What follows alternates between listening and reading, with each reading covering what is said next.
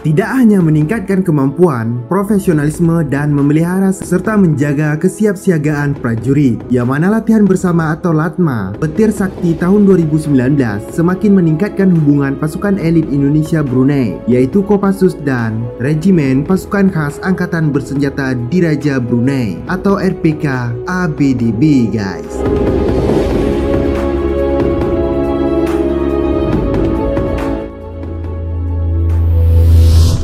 Oke bro, sebelum kita lanjut, alangkah baiknya teman-teman yang belum bergabung bersama Pak Bro, maka silahkan klik tombol subscribe terlebih dahulu. Karena dengan kalian klik tombol subscribe, maka dengan sendirinya kalian sudah bergabung bersama teman-teman Pak Bro yang ada di seluruh dunia. Dan kamu juga sudah mendukung Pak Bro untuk lebih semangat lagi dalam membangun channel ini. Serta juga jangan lupa klik logo loncengnya juga ya guys supaya kamu menjadi yang pertama untuk notifikasi video terbaru dari Pak Bro selanjutnya. Wow, karena Pak Bro akan upload setiap hari guys. Wah wah. Dan juga jangan lupa like dan juga share ke teman-teman kamu supaya mereka juga tahu apa yang sudah kamu tahu dari video ini. Oke guys, baiklah terima kasih dan selamat menonton. Pacu Bro.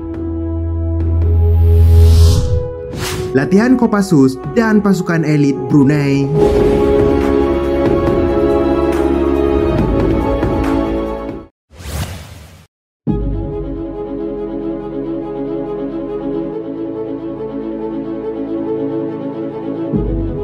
Nah guys, disampaikan atas pertahanan atau ATAN Republik Indonesia untuk Brunei Darussalam. Kolonel R. Zainal Arifin SOS dalam rilis tertulisnya di Bandar Seri Begawan, Brunei Darussalam pada Jumat 1 November 2019. Diungkapkan ATAN, Latma Petir Sakti ke-9 tahun 2019 yang dilaksanakan mulai tanggal 21 hingga 31 Oktober yang lalu di Penanjung Garrison yang mana diikuti oleh oleh 30 personel dari Kopassus dan 30 personel dari RPK ABDB.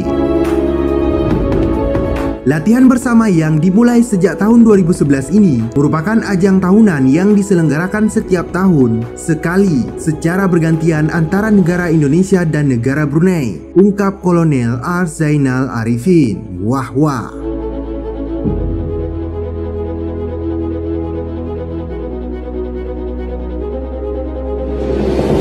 Nah, adapun tujuannya, ucap Zainal, untuk meningkatkan profesionalisme dan memelihara serta menjaga kesiapsiagaan prajurit, membahas berbagai aspek dan menganalisa masalah, dan saling bertukar informasi guys. Selain itu juga sebagai perwujudan dari kerjasama antar kedua negara yang telah terjalin dengan erat sejak lama terangnya saat penutupan Latma Petir Sakti yang mana Kopassus dan RPK ABDB menampilkan demonstrasi latihan di hadapan Joint Staff Commander Brigadier General ATU Dato Seri Pahlawan Muhammad Sarif. Wow. Nah, materi tersebut terdiri dari renmil, angkat balok, angkat munisi, dorong kendaraan, lari, angkat ban, panjat tali, menembak 300 meter, 200 meter, 100 meter, dan menembak taktis sambil berjalan 50 meter. Ucap Kolonel R. Zainal Arifin guys. Nah, pada kesempatan tersebut, Pangeran Abdul Matin juga turut meninjau langsung pelaksanaan latihan petir sakti di Penanjung Garrison. Dikutip dari tniad.mil